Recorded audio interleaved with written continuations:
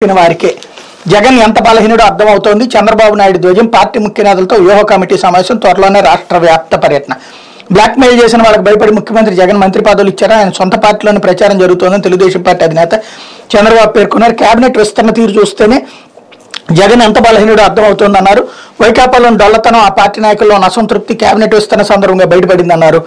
Party ముఖ్య నేతలతో సోమవారం ఆన్లైన్లో నిర్వహించిన వ్యూహ కమిటీ సమావేశంలో చంద్రబాబు వ్యాఖ్యలు చేశారు. ఇదేందో విచిత్రం. ఎప్పుడు వ్యూహ కమిటీ అనే అవుతుంది. వ్యూహం అంటే అందరూ కలిసేస్తారు. వ్యూహ కమిటీలో ఉపన్యాసమే ఉంటుంది. పేరుకి మాత్రం అద్భుతమైనటువంటి పేర్లు ఉంటా ఉంటాయి అనమాట వ్యూహ కమిటీ ప్రణాళిక కమిటీ పకడ్బందీ కమిటీలు ఇదేందో అర్థం కాదు. ఆ కమిటీలో కూర్చుని రోజు తిట్టాలనుకున్నట్టు తిట్టడమే. ఆ తిట్టేదానికి ఆ పేరెందుకు వ్యూహ కమిటీ ఏంటి? ఏం వ్యూహం వేయాలా? ప్రభుత్వానికి అద్దెదించాలంటే ఈ జిల్లాలో ఏం చేయాలా? ఈ నియోజకవర్గంలో ఏం చేయాలా? ఎవరిని మనం ఎమ్మెల్యేగా పెట్టుకోవాలి? ఎవరిని ఎంపీగా పెట్టుకోవాలి? ఏ కులపు వాళ్ళకి సంబంధించింది చేయాలి లేదా అసలు కులాలకు అతీతంగా వెళ్దాం? అది వ్యూహం అంటారు. వ్యూహ కమిటీలో ఉపన్యాసం ఇచ్చేసి వెళ్ళిపోతారు ఆయన ఆయన దోవన ఇంకోటి కేబినెట్ విస్తరణకు సంబంధించి చంద్రబాబు గారు మాట్లాడేంటి ఆయన మంత్రివర్గంలోనూ అసంతృప్తులు ఉన్నాయి కదా ఆ రోజున. గోరంట్ల బుచ్చి చౌదరి వీళ్ళందరూ మాట్లాడింది. అదే సందర్భంలో ఉన్నటువంటి వాళ్ళందరికీ మరి అప్పుడు ఎంతమందిని నలుగురిని తీసేశారు? మిగతా వాళ్ళందరినీ భయపడిన ఉంచినట్ట కంటిన్యూ చేసినట్ట మరి ఆ రోజున. ఇక్కడ బెదిరించి బ్లాక్మెయిల్ చేసి అనేటువంటిది. వీళ్ళని బ్లాక్మెయిల్ చేస్తారు? వాళ్ళని బ్లాక్మెయిల్ చేస్తారు. కాబట్టి అట్లాంటి వాటికి వణికిపోయాడా?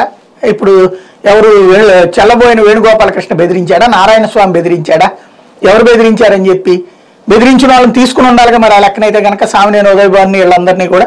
పెద్దిరెడ్డి రామచంద్రారెడ్డి బొత్స సత్యనారాయణ పొగ్గన రాజేంద్రారెడ్డి. వాళ్ళదైతే కనుక సురేష్. సురేష్ అయితే బెదిరించిందేం కాదు. ఆయన ఆల్రెడీ ఇంటికి వెళ్ళడానికి రెడీలో ఉన్నటువంటి వీళ్ళ ముగ్గురు బొగ్గన బెదిరించేదేం లేదు. బొత్స సత్యనారాయణను పెద్దిరెడ్డి రామచంద్రారెడ్డి బెదిరించారు అన్నటువంటిది మరి ఆ రోజున కథనాలు రాయలేదు. ఇప్పుడు మనం తర్వాత వండి వార్చిన కథనాలను ఆధారంగా చేసుకుని ఇంకోటి వాళ్ళిద్దరూ రెండు జిల్లాలను నడిపించగలరు రెండు నాలుగు జిల్లాల్లో గెలిపించుకురాగలరు.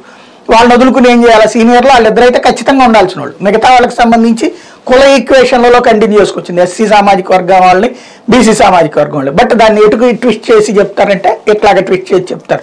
ఈ ఇది అంటే ఒక ప్రచారాన్ని స్మూత్గా గోబెల్స్ తరహాలో ఒకే తరహా. కాకపోతే ఇందులో ఒక మంచి పాయింట్ ఉంది. చంద్రబాబు గారు చేయబోతోంది. జనంలోకి వెళ్ళబోతున్నారు. అది మంచి పని. జనంలోకి వెళ్ళాల్సిన అవసరం కూడా ఉంది.